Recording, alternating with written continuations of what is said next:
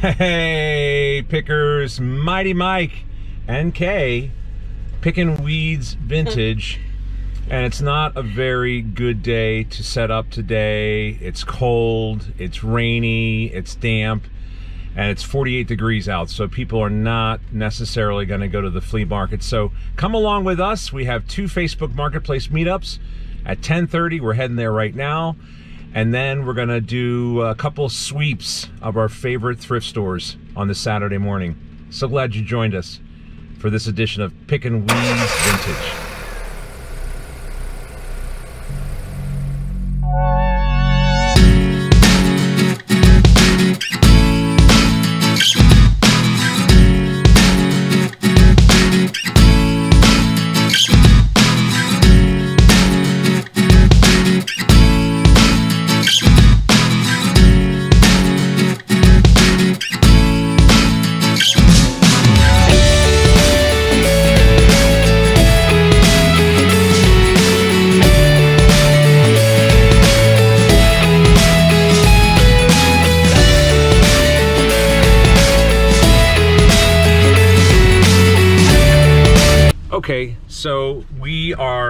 Minutes early, and I always say that it's good to get here earlier because most times people do end up getting there earlier, especially if they're coming from out of the area. But it's funny, we have two Facebook Marketplace meetups, and we just got a message, it's supposed to be at 1030.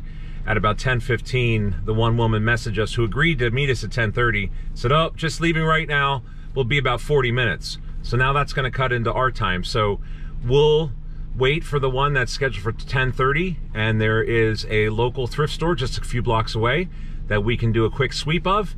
And as a picker, you just have to use your time wisely. A lot of it is time management. So now we wait for our first meetup and hopefully they show up and everything goes according to plan.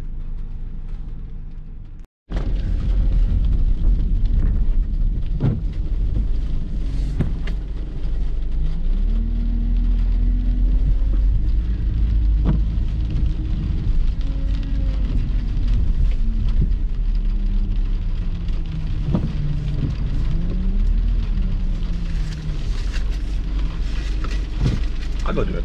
Are you sure? So here we are at the post office as a reseller.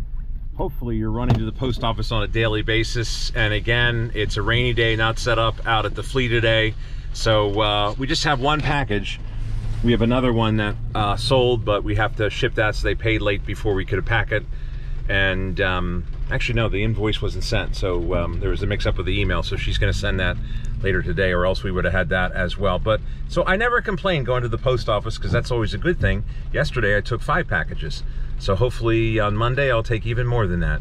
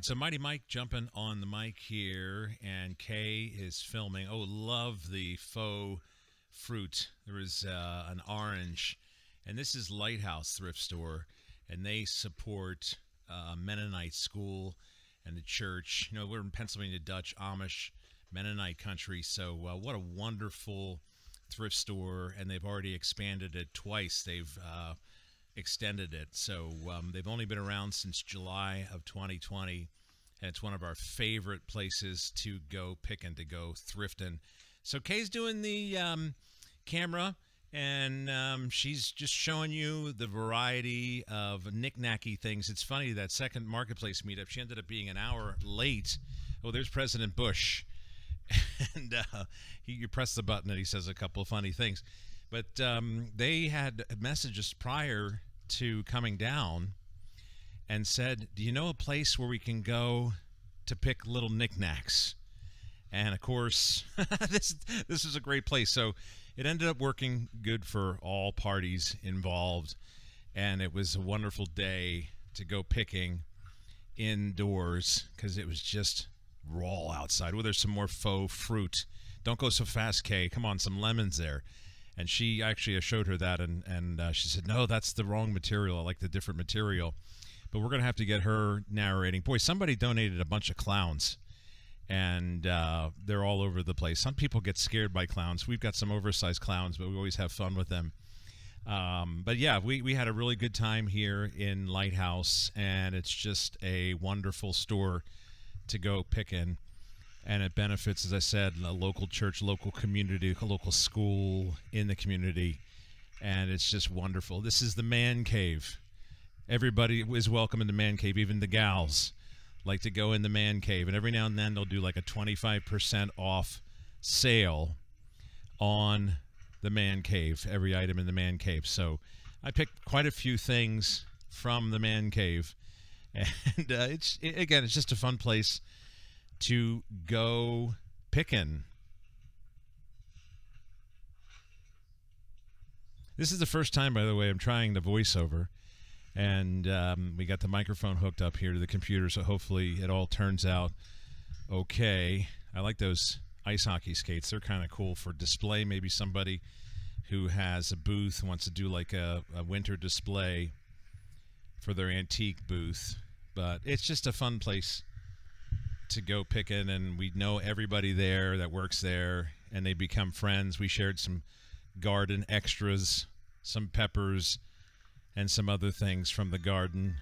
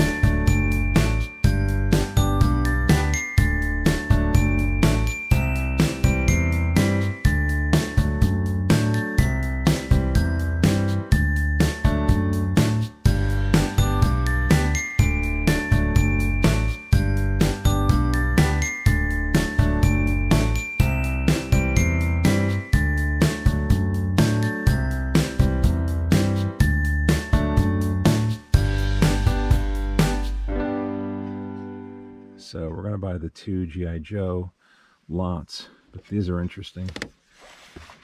Original box.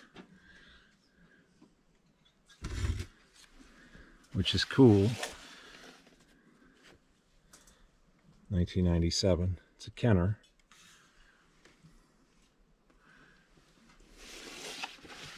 And then this is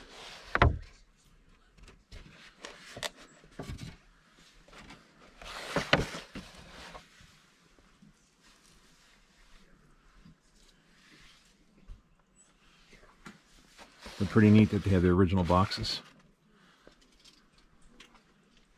That's cool. All right, let's go check out. Okay, so both marketplace meetups went really well. In fact, the one couple that came from out of the area, They were 45 minutes late and they decided, I said, hey, why don't you just come to this other thrift store we're at? And uh, that's where we did our meetup because they asked about, hey, are there any good places to go thrifting? So we're at our second favorite place to go thrifting on this beautiful, dreary day.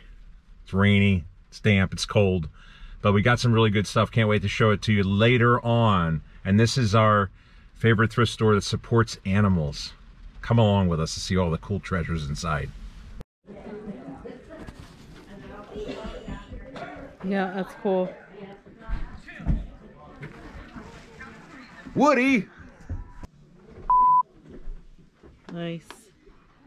Tell me one. Yep. To infinity and beyond! All right, so we are here at Humane Society thrift store. And whenever you hear me do a video and I say we got this from one of our favorite thrift stores that supports animals, this is the one that I'm talking about. And it's very popular. A lot of people like to go there, go picking. There's so many cool items and the prices you can't beat. And it supports our furry friends. Oh, there's Kay loving her coffee mugs. Look at that, 50 cents. And sometimes they do half price for 25 cents.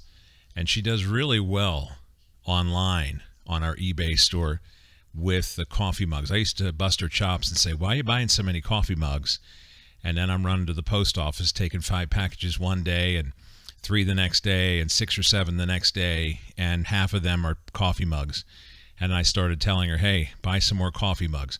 So we got some more holiday stuff out here, some Christmassy stuff, and it's fun. All the thrift stores, all the local thrift stores, they do a wonderful job around the holidays. You know, before it was Halloween, we got some really cool Halloween stuff, some Halloween masks, and they have some Thanksgiving items. And now, of course, we're already promoting Christmas stuff, and we love buying vintage Christmas items. Oh, there I am.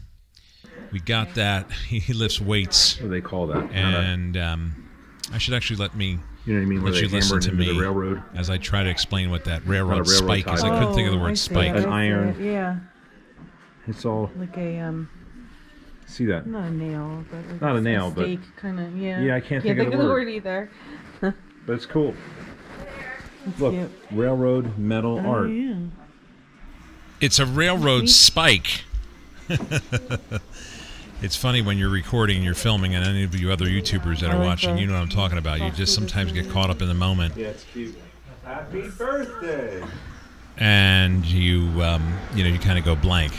Happens to me all the time. But yeah, we're looking at the Happy seasonal items here. Remember when he comes to life? Yeah. Oh, that was from the Frosty the Snowman special. They put the hat on him, and he goes, "Happy birthday!"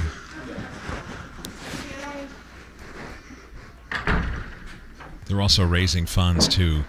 They have so many creative ways to raise money for the animals, for the cats, and for the dogs. And so you can buy a basket. Um, they're going to have a raffle. But this is one of our favorites here. So many cool vintage items. And people love animals, so they donate entire collections sometimes to the Humane Society thrift store. And here again, the glasses have caught Kay's eyes, and she's trying to find something with advertising on or something catchy. And the prices are so reasonable. There's a, uh, I don't know if it's from Philadelphia Phillies, but only a dollar fifty for a signed black and white photograph. Where is Thumble Kim? Some great vintage records in the original sleeve. You just never know what you're going to find when you go thrifting. And I think that's why we all enjoy the hobby so much. That looks like a painted nut, an oversized nut. Although I've been accused of being a, a painted nut or a nut.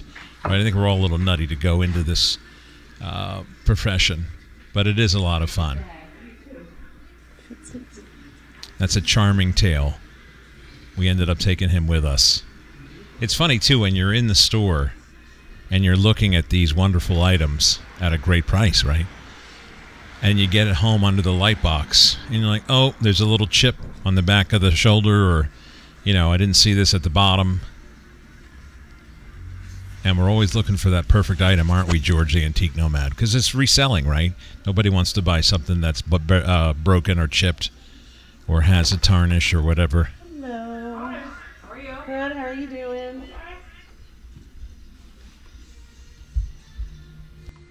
That's a good problem. Yeah. But that was Thursday. Oh my god, I was so tired. I can't even imagine. But then it was wasn't too bad yesterday. and Today's really quiet for Saturday. For a while, you seemed busy out here. We were downstairs, it was like 10, 15 people wandering around down there. Yeah. And now it's now it's quiet again. That's what she was just saying. Care of yourself there.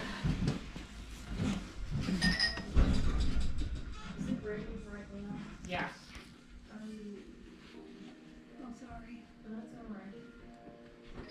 Yeah, it's ugly out. And then the wind blows the trees, the leaves flying around. Are you ready? Twenty-five cents.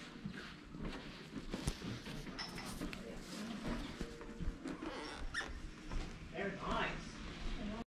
So it's wonderful too uh, that these volunteers are not paid a cent, and many of them are retired, but not really, right? Because they're there. It's open Thursday, Friday, Saturday, and Sunday, but yet many of them are there every day or every other day, whatever. And it's a labor of love. In fact, I saw one of our friends, Paul, set up at the Flea. You'll see him on a video the next day where we stopped by his booth up at Sunset, where we also sat up. We sat up there during the summer months and I told him, I said, hey, if you ever need a hand uh, lifting these boxes out or taking things to the get recycled, whatever, I said I'd be happy to help volunteer because really it's great when you can give back to your local community in any way. So we're going by the library right now where they have all the books, and I think I did film a short segment um, with the with the videotapes, but Kay is heading to the vintage room, and this month's theme, bum ba da dum, is Disney. It's a small world after all. No, it's pretty cool. They always try to do different themes. They've done NASCAR, uh, NFL. Look. Is it your size? Luke, it's time to go to bed. I sound more like Yoda. Jedi Knight. Mhm. Smart man is he. You. You can pull that off. Oh, look at that one of these. One dollar. Mm. We still have ours. Mm -hmm. You gotta get the eagle. Isn't that cool? Now, for those of you who haven't been to thrift stores, NFS means not for sale.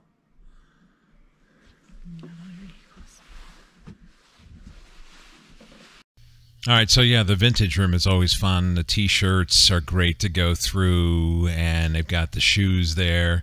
I need to buy a pair of boots for the wintertime when I'm set up out there in the field because I don't want to wear my snow boots. I need a pair of hiking boots or whatever. And I'll tell you what, shopping at a thrift store, you can really save money and get some good quality items. And sometimes half price, maybe even more, 75% off if you go to a regular retail establishment. There's Goofy. Gorsh. How about the uh, how about Disney World just celebrating their 50th anniversary recently? That's really exciting. How many of you grew up going to Disney World, Walt Disney World in Orlando, Florida? How many of you have been to Disneyland? I've not been there yet, but we were talking about going there sometime in the future. That'd be a lot of fun. I love the artwork too. Bought so many cool pieces from this particular thrift store where they support animals all. There's the cat and the doggy and another cat. We rescued Sonny and we just are enjoying him so much. He's a great addition to our family. And we feel like this is also a part of the family as well, the thrift store volunteers. And the more you get involved with them, the more you want to get involved. We also brought some garden extras for them.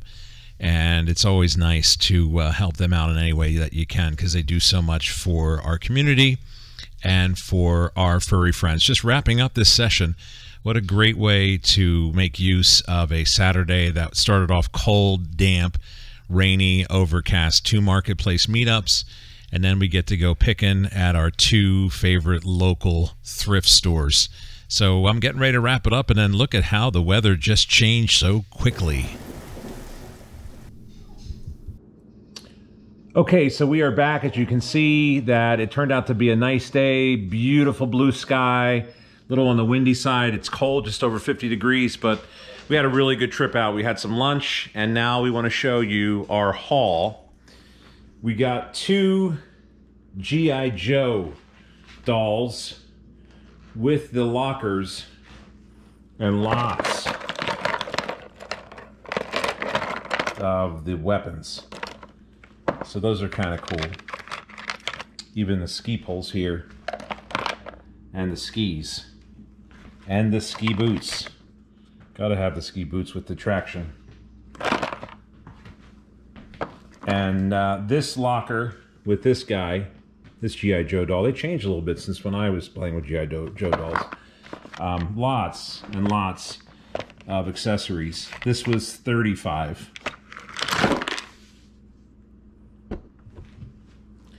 And then this guy, not as many. Looks like he's a an astronaut.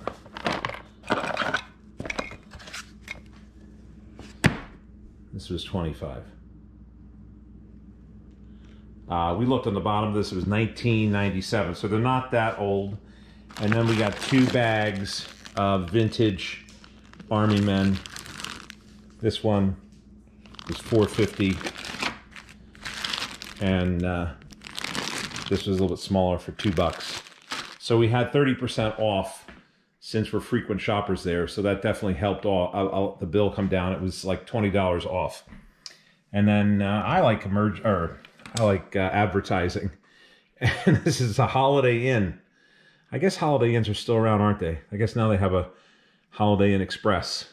Let's see that? For emergency use only Thought that was cute. Probably a giveaway if you stayed at a Holiday Inn years ago. And then this is from, look how small the handle is there, the, or the, um, the swatter part. This is from a local candy company, Smith's Candy. So that was a good haul there at Lighthouse Thrift Store. And then we went to our thrift store, Humane Society thrift store in Lebanon, and we got some really nice treasures.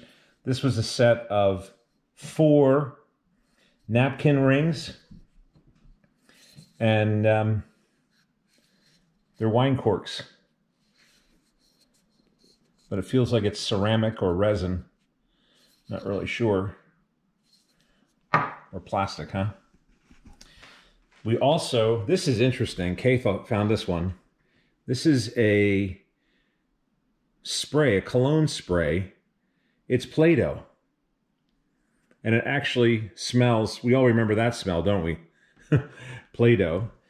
Here is a bank, and this is called a Charming Tale or Charming Tales with the original stopper. And it's the moon and stars. Got that for three bucks. But that's very cheerful. And then also we got some advertising on the mugs from the American Pharmaceutical Association, 1973. Got a pair of those. And this is in, uh, what's it called with the white? What's that called? Anchor Hocking? Milk glass. Oh, milk glass. So that's kind of neat.